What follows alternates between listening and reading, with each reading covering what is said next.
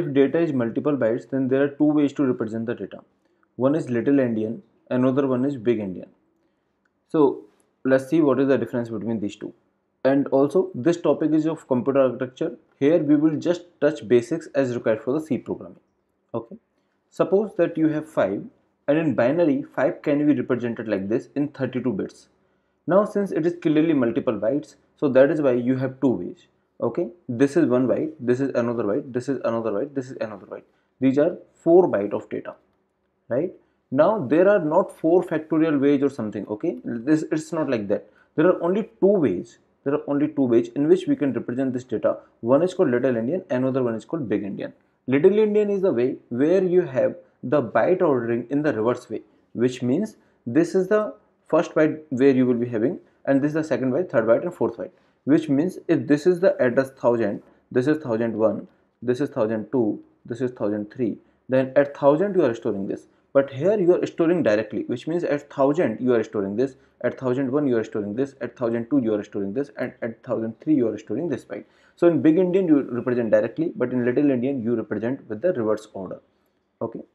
Now this endianness should not reflect from the user point of view which means suppose user have uh, some variable which is i which is 5 now if you print this 5 or if you print this i then it will be just 5 only. It will not be like based on the endianness so which means at user point of view it should not matter which endianness system is using. So let's understand this with uh, with some more example. But before that let's see that what is happening inside the hook. So see this 5 in the little endian is represented like this and the big endian is represented like this. So whenever you are storing the data in the little endian it's like this. In the big endian it's like this. So whenever you are fetching how it will fetch? It will first reverse it right?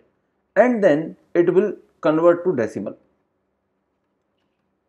And how it is happening in the big endian is that it will directly convert to decimal. Why? Because it already stored in the similar fashion which is required for the like uh, the similar fashion as as uh, compared to binary pattern right? So here i'm i'm first reversing then i'm storing. That is why whenever i'm fetching the data i need to first reverse it and then i need to fetch the data. So let's understand this with more example.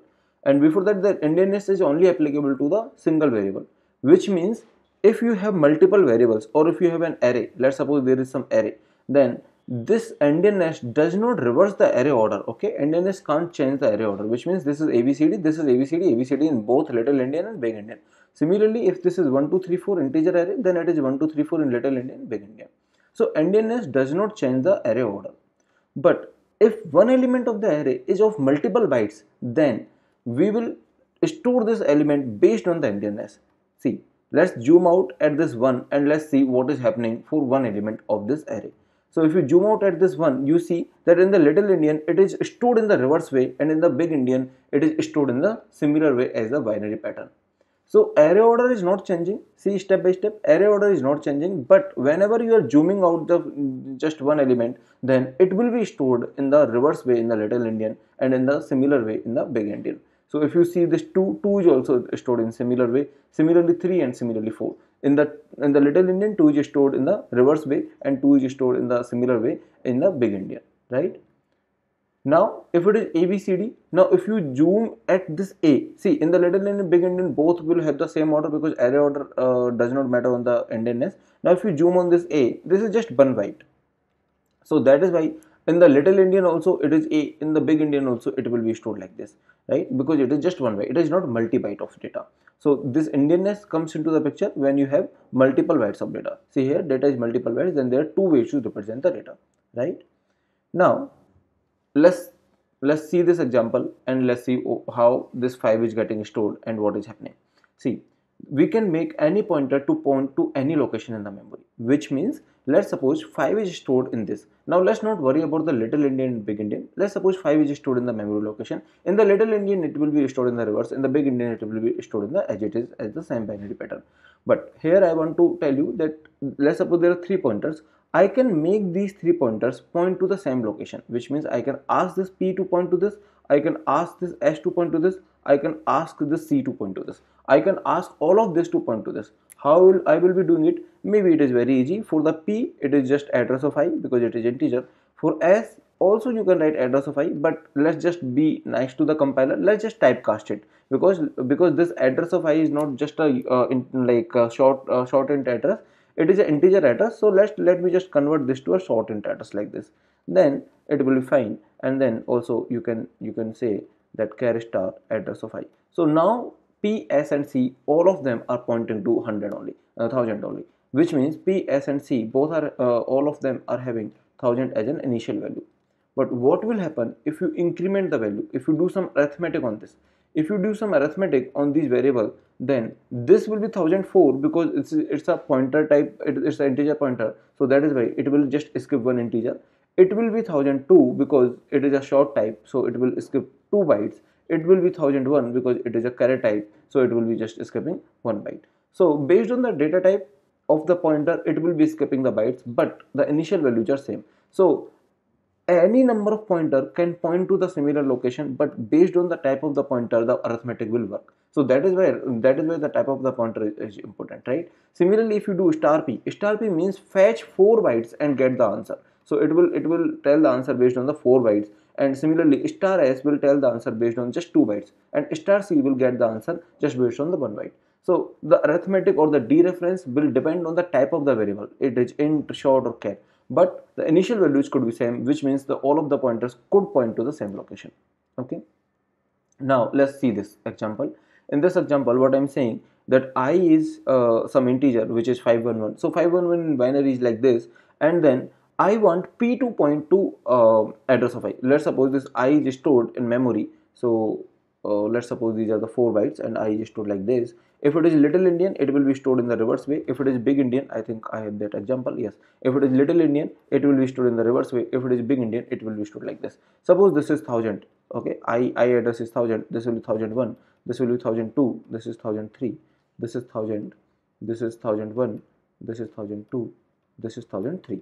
Now, what I'm saying here is that P should point to I, right? P equal to address of I, which means P is pointing to I. So in the little Endian it is pointing here, in the big Endian also it is pointing here. So it is pointing to the location whatever it is stored as the thousand only. At the in the little Endian it is stored like this, in the big Endian it is stored like this. Now what I am saying is that star P, okay, P is a character type, so star P means it will just fetch one byte. So in the little Endian it will fetch just this, in the big Endian it will fetch just this, right?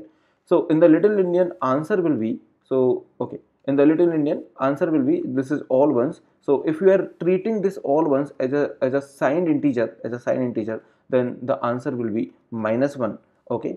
And basically it is a signed integer and the integer promotion will happen sign character and the integer promotion will happen and then you need to treat as a sign uh, sign thing. So uh, all of that story i have told in the previous lecture so i'm not going to repeat it. Since that star p is a sign character that is why the uh, that is why the integer promotion will take place based on the uh, this MSB. So all ones and all ones uh, if you are treating this again as a percent D which is signed number then it will be minus 1. So minus 1 is the answer in the little Endian. Okay and most of the computer follows little Endian. so in most probably in your computer minus 1 will be the answer and 0 will be the answer in the big Endian. So 0 will be the answer in the big Endian. You are getting? So based on the Endianness I can have different different answers if I am just fetching one byte what if I'm fetching, uh, fetching the complete 4 bytes? So let's just see with another example. Suppose that it is 255 I'm storing and then this is star p equal to address of i which means p is pointing to the i. So this is 255 and p is pointing to i. So in the little Endian it will be like this uh, 255 is like this in the big Endian 255 is like this. So p is pointing to uh, this location which is 1000 here and this is also 1000 so memory location is 1000 in both the case. In the little Endian it is uh, at the 1000 it is stored like all ones and in the big Endian or the 1000 all zeros are stored. Okay? Now if i'm getting star p if i'm mm, taking star p then just just forget about little Endian and big Endian and just think from the user point of view.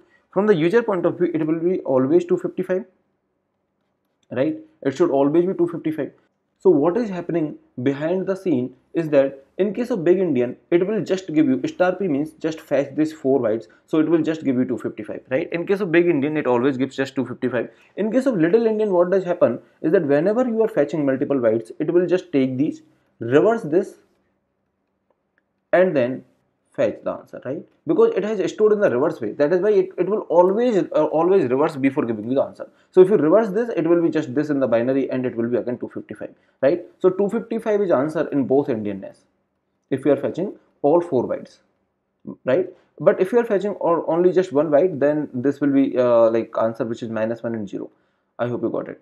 So see here in case of little endian it stores in a reverse way. So also when we fetch some value it first reverse and convert to the decimal right? So we, it will first reverse. So you are fetching star p means getting 4 bytes. So it will first reverse it and then convert to the to, to the decimal. That's why 255 is answer. And in this case also like uh, in this case it will be stored in the similar way. It, it, it will give the answer directly without reversing because we have stored in the similar fashion as a binary pattern right?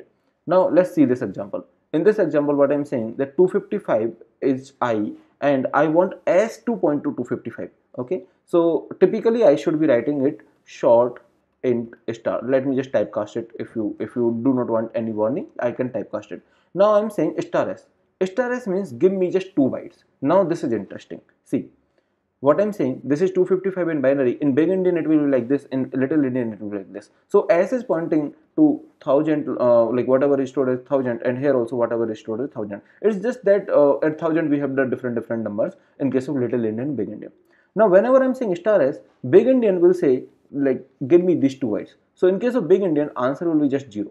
But in case of little Endian it will also say that give me these two bytes but not directly. It will first reverse it right so it will if it if you reverse it it will be all zeros and then all ones like this then it will be 255 right? So in case of little endian answer will be 255 in case of big endian answer will be 0 why? It is 0 directly. And in case of little endian before giving the answer if this is multiple bytes it will just reverse all the bytes and then will give you the answer right this is how it happens in case of little endian See, in case of little Endian, since it stores in the reverse way, that's why we need to fetch, if we are fetching these two bytes, we need to, uh, we can fetch these two bytes, but we need to reverse these two bytes. And then we are getting the answer, which is 255 is the answer here. In case of big Endian, star s is just 0 because these are the two bytes that we, we are interested in. That is why 0 is the answer, right? Now let's solve this question. This question is not related to little endian, big endian, but it will just make you familiar with the pointer typecast and how these pointers are happening. As I just told you that any memory location can be pointed by different different type, type of pointers. Now what happens if you do some arithmetic on these type of pointers? So there is a string which is str and this is Stanford University and A is some character from that string and B is something like this and C is something like this. Now what they want, they want to get the final B and C like a will be t because it is str str of 1 and then they want b and c. So let me uh, let me just show you this representation. So stanford is uh, a long string. At the end it is uh, it is ending with the null character because here i have not specified the size. So it will end with the null character. And these are the indices okay? I have not written all the indices but that is okay. Now what i'm saying is that b is this thing which is str int star which means str is actually kind of pointing here and if you're typecasting it with int star then it will behave like an integer pointer. If you do not typecast then str plus 0 will point here str plus 1 will point here str plus 1 will point here str plus 2 will point here like this. But if you're typecasting with the integer pointer then if you're doing plus 3 then it will skip 14 uh, sorry uh, it, it will skip 4 into 3 which is 12 bytes right? So which means you need to find out this whole thing will be this whole thing will be str like uh, it will skip the 14 uh, uh, the 12 bytes. It, it will be str plus 12 so str plus 0 is this. Str plus 11 will be this. Str plus 12 will be this right? Str plus 12 will be this. And then you are saying it is again a character type pointer. So now now it is it is again a character address which means if you are dereferencing it then you will just dereference dereference one byte. So uh, if you dereference one byte it will be just v right? And now what you are doing you are saying that str of size of int star so size of int star means int star let's suppose the integer pointer or any pointer in our system is having 8 bytes okay then it will be str of 8. So str of 0 is this str of 8 will be this which is just space. So here you will be having some space right. So this will be space.